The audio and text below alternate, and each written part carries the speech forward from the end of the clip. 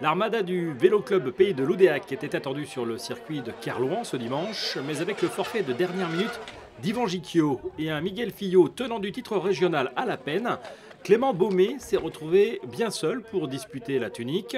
Seul, qui plus est, face à celui qui s'était fait déposséder des Hermines la saison passée, le costar-moricain Florian Lecor. Au fil des tours, le peloton s'est étiré et le trentenaire a fini l'épreuve dans un mano à mano avec un Clément Baumé fraîchement arrivé du Maine-et-Loire qui disputait là son premier Bretagne. Il termine deuxième. Euh, J'attendais le sprint, je voulais virer en tête. Et puis bah il y, y, a un doublé qui s'est émissé, donc j'ai pas pu trop passer. Et puis bah, Florian hein, voulait pas qu'on voulait pas passer, normal, parce que c'est un championnat quoi. Mais voilà, quoi. déçu mais content, c'est mon premier championnat en Bretagne. Si le professionnel Mathieu Boulot finit sur le podium, c'est bien Florian Lecor, comme aux plus belles années, qui décroche le paletot pour le plus grand bonheur de sa compagne. Et puis ben, je redoutais l'arrivée au sprint.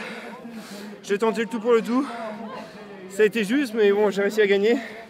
Je crois que c'est mon plus beau titre euh, sur tous ceux que j'ai pu gagner. Euh, parce que bon, j'étais pas, on va dire que je dominais pas, pas la saison jusque là.